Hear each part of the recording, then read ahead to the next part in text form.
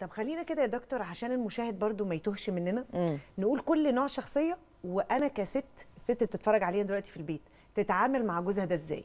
يبقى أول اجتماعيا ونفسيا. آه أول ال- الباشا في نفسه. بحب أنا قوي الباشا في نفسه ده والله character في وكاريزما.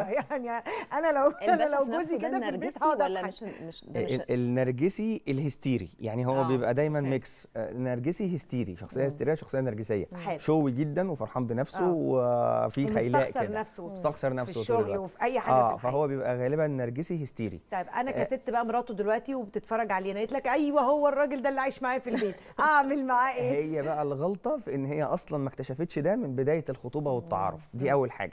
لأنه زي ما بنقول جوزك على ما تعوديه. لو هي بدأت تغير في شخصيته في الوقت اللي هو كان مرتبط بيها عاطفيا وبيحبها وعايز يرتبط بيها آه. ممكن تعرف. آه. لكن لو فوتت الوقت ده اللي هو أكتر وقت هو منجذب ليها وعايز يسمع كلامها فيه وعايز يراضيها خلاص كده هي فقدت ال- البدايه لازم تتأقلم بقى عليه. آه هتضطر بقى زي ما بتقول كده عليه. تتأقلم. وده طبعا بيبقى يعني كابوس. طبعا. كابوس لأن بالذات النرجسي أنا بتهيألي إنه يعني من أكتر الشخصيات اللي صعبه التغيير لأن هو أصلا مش مقتنع إن في حاجة غلط. يعني يعني هو عشان انت تتغير لازم تكون مقتنع إن أنا عندي حاجة غلط فاشتغل عليها فغيرها إن شاء الله. وطبعا هنرجع زي ما حضرتك قلت إن مفيش حد بيتغير عشان حد. يعني التغيير لازم حاجة. ينبع من ال- من البني آدم نفسه. بالظبط كده. وأنا دايما بقولها للستات إنه بلاش موضوع أخده وأغيره اللي هو أخد حد فيه عيب ده ما وإن بيحصلش شاء الله بقى بإذن الله يتغير بقى بيحصلش. ونشتغل عليه وكده. طيب دلوقتي خلاص ماليش دعوة هو مامته ربيته إزاي عقده النفسية إيه وكلام لا الشخصية ما هو. المشكلة إن أنا ليا دعوة لأن طيب. أنا مش هعرف أغير إلا لو بقيت فاهم الشخص اللي قدامي لأنه أنا لو فهمته ممكن ما تتجوزوش طب ما أصلا أنا مش هكتشف غير بعد ما اتجوزه في شخصيات- خلاص اتجوزت وخلفت منه هو في السيناريو ده اتجوزت يتجوزها. وخلفت منه وقعد وهو في قاعد في البيت. ها، البيت أعمل لازم إيه؟ أقرر إنه يشتغل ولازم أساعده إنه يشتغل ما عرفتش إيه؟ وفشلت. لا ما أنا مش هعمل حاجة. إيه؟ أنا كزوجة مش بإيديا حاجة. ما عرفتش وفشلت آه. يبقى خلاص ما ما عنديش حل غير إن أنا أقرر ان ينفصل لكن ما فيش حل زي ما انت متخيلة. يعني ما فيش حل سحري هيخلي الراجل الاعتمادي يبقى آه. مش اعتمادي.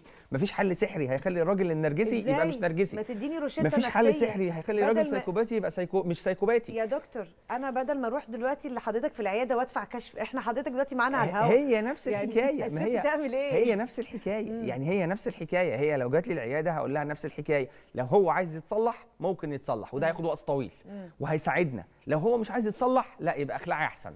ليه؟ لأنه هي هتقع معاه بعد شوية. هي بدل ما كانت شايلة حمل ولادها اللي هم مثلا اتنين آه. بقت شايلة حمل ثلاثة الأب واتنين كمان. بحبه. ده غير النقد اللي هي بتاخده طول أنا الوقت. بحبه. خلاص استحملي. أنا بحب دي مشكلتك انت. وعايزة أعدله. دي مشكلتك انت. عايزة تعدليه لازم آه. هو يبقى عايز يساعد نفسه. زي ما قلنا إن الله لا يغير ما بقوم حتى يغيروا ما بأنفسهم. البداية عنده مش عندها. طيب. البداية عنده مش عندها.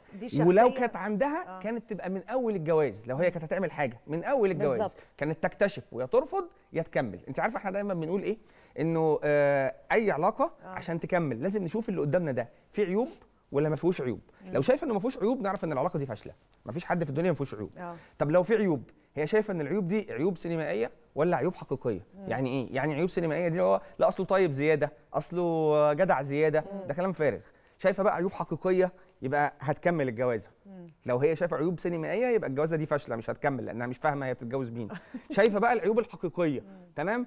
بتقول هغيرها ولا لأ؟ لو شايفة إنها هتغيرها فالجوازة فاشلة لأنها مش هتغيرها مش هتعرف تغيرها.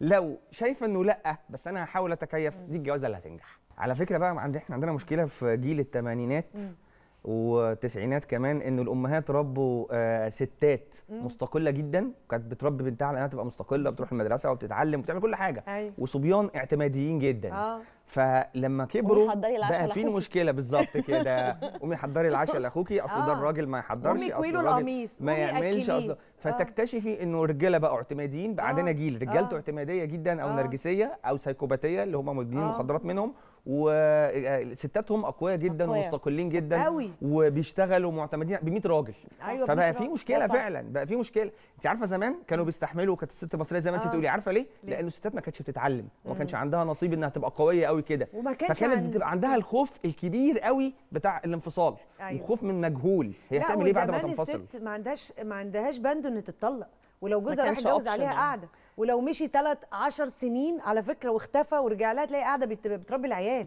قبل الإنترنت وقبل الاندبندنت الانفتاح وانت إيه اللي مخليكي تستحملي؟ قومي اديله بالحلة في وشه.